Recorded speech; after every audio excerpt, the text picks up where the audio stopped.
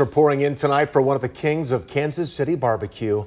Mike Zarda passed away yesterday. His family says he battled a brief illness. Mike is one of two brothers behind Zarda Bar-B-Q.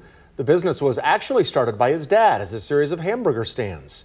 In 1976, Mike and his brother Jerry took the lessons their dad taught them and opened their first barbecue restaurant in Blue Springs.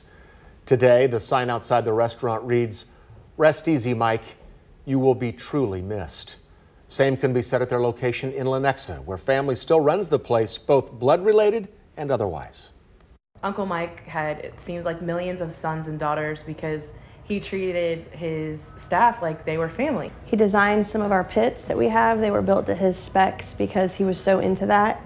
And um, we're going to keep cooking in those pits and we're going to keep thinking about Uncle Mike while we're doing it every day. The family is still working on funeral arrangements, but plan to announce visitation details when they're set.